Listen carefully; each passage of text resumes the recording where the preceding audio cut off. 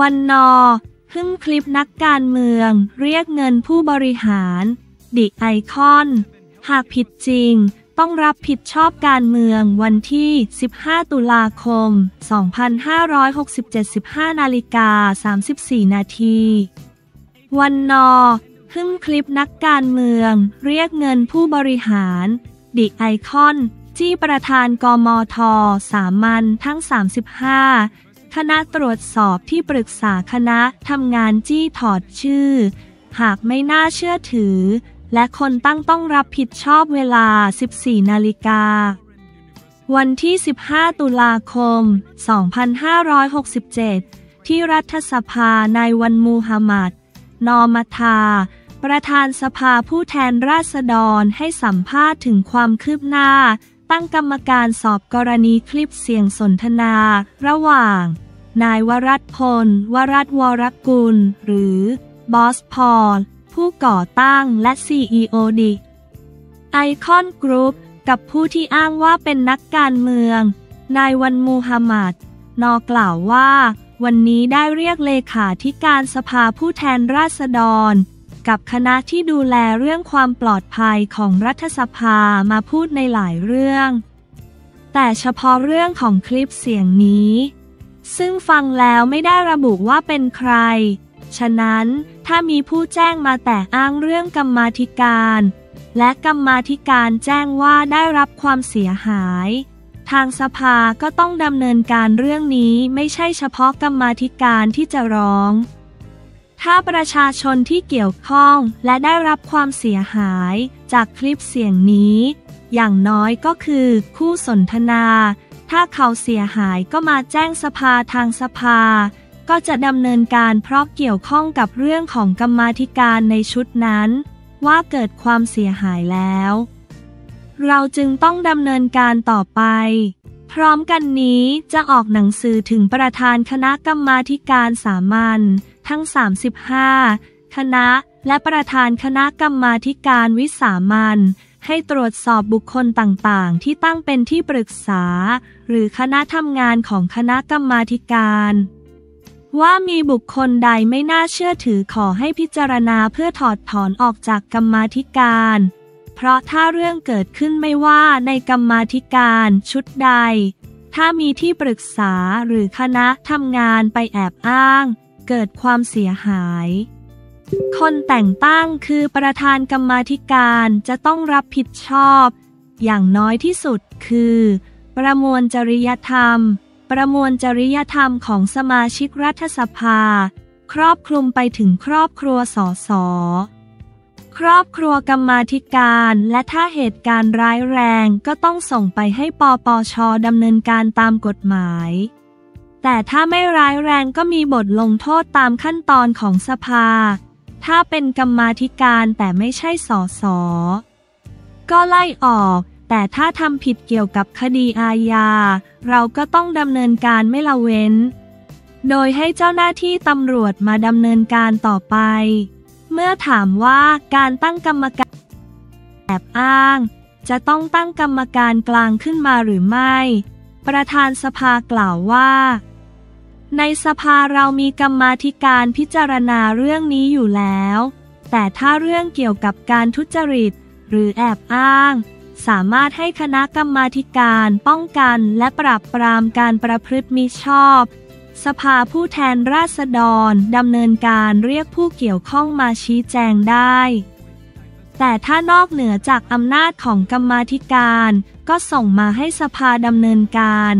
ถ้าผิดอาญาก็ส่งเจ้าหน้าที่ตำรวจ ถ้าผิดจริยธรรม ก็ให้คณะกรรมการจริยธรรมของสภาสอบสวนต่อไป เมื่อถามว่ากรณีดิไอคอน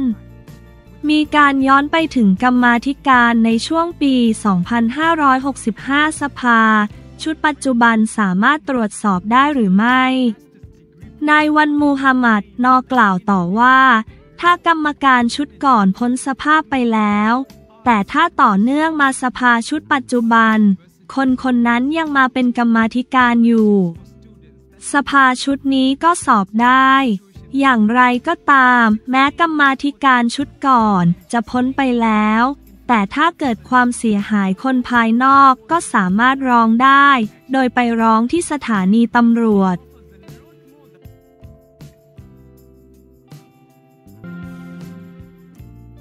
ราชกิจจาเผยแพร่สารสั่งพิทักษ์ทรัพย์เด็ดขาด บุคคลนามสกุลดังหลังถูกฟ้องล้มละลายเด่นออนไลน์ วันที่ 15 ตุลาคม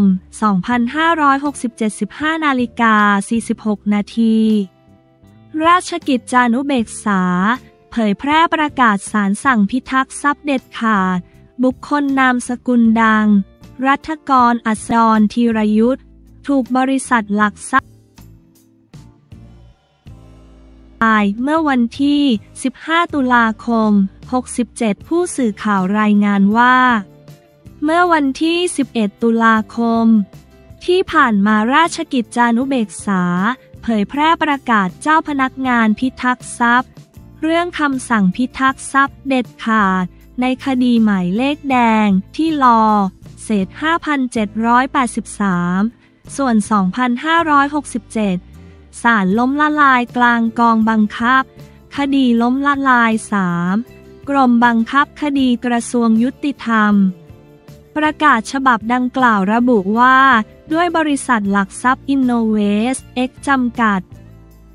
Innovate บริษัทหลักทรัพย์ไทยพาณิชย์จำกัดเดิม โจทยื่นฟ้องต่อศาลล้มละลายกลาง ขอให้ลูกหนี้ล้มละลาย และศาลได้มีคำสั่งลงวันที่ 16 กันยายน 2567 ให้พิทักษ์ทรัพย์ของนายรัฐกร อัสดรธีรยุทธลูกหนี้เด็ดขาดตามพระราชบัญญัติล้มละลายพุทธศักราช 2483 แล้ว ดังนั้นนับแต่วันที่ศาลได้มีคำสั่งเจ้าพนักงานพิทักษ์ทรัพย์ แต่ผู้เดียว มีอำนาจจัดการเกี่ยวกับกิจการและทรัพย์สินของลูกหนี้ ตามมาตรา 22 แห่งพระราชบัญญัติล้มละลายพุทธศักราช2483 และบุคคลผู้เป็นหนี้ลูกหนี้หรือมีทรัพย์สินของลูกหนี้อยู่ในครอบครอง มีหน้าที่ต้องแจ้งข้อมูลเกี่ยวกับหนี้ หรือทรัพย์สินของลูกหนี้ให้เจ้าพนักงานพิทักษ์ทรัพย์ ทราบภายในหนึ่งเดือน นับแต่วันที่ได้ทราบคำสั่งของเจ้าพนักงานพิทักษ์ทรัพย์ ตามมาตราเศษ 24 ส่วนหนึ่งแห่งพระราชบัญญัติล้มละลายพุทธศักราช 2483ซึ่งผู้ใดมีหน้าที่ตามมาตราเศษ 24 ส่วนหนึ่ง แล้วไม่ปฏิบัติตามมีความผิดต้องระวังโทษปรับไม่เกิน2แสนบาท ตามมาตราเศษ 173 ส่วนหนึ่งแห่งพระราชบัญญัติล้มละลายพุทธศักราช 2483อันหนึ่งเจ้าหนี้ซึ่งจะขอรับชำระหนี้ในคดีนี้ จะเป็นโจทย์หรือไม่ก็ตาม ต้องยื่นคำขอรับชำระหนี้ต่อเจ้าพนักงาน พิทักษ์ทรัพย์ ที่ฝ่ายคำคู่ความ